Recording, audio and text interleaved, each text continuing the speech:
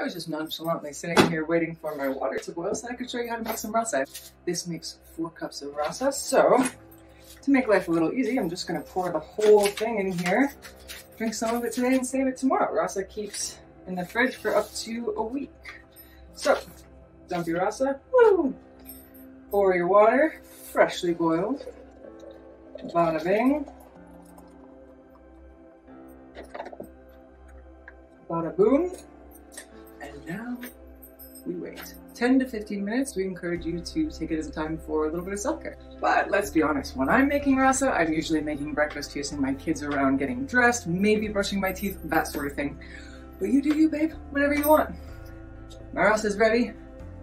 I plunge the press, and I pour. And then, because rasa is especially delicious with something creamy, I've got some oat milk here. Bada bing, bada boom, and you're off to the rasa races.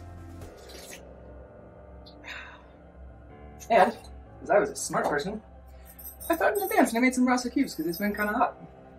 And you can just pour your rasa right over the cubes. Make a sexy little splashy swirl milk thing. You got yourself some iced rasa. Cheers! And if you don't have a French press, check out wearerasa.com slash brewing for all the other ways that you can brew.